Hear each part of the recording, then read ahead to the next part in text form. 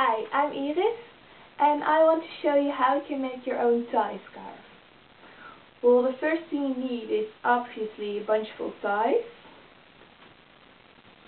and some thread, and a needle, or a sewing machine.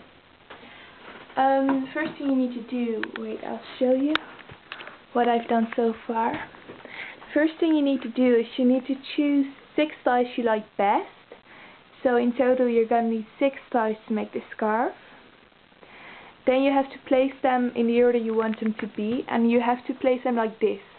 One big end first and then a small end and so on.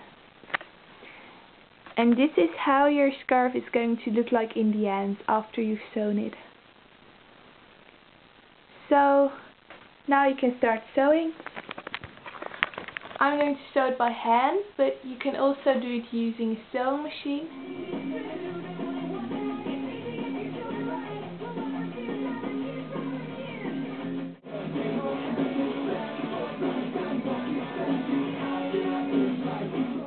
I'm finally finished, and this is the result.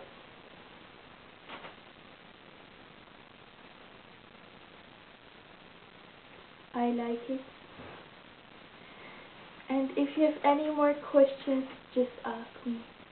Bye.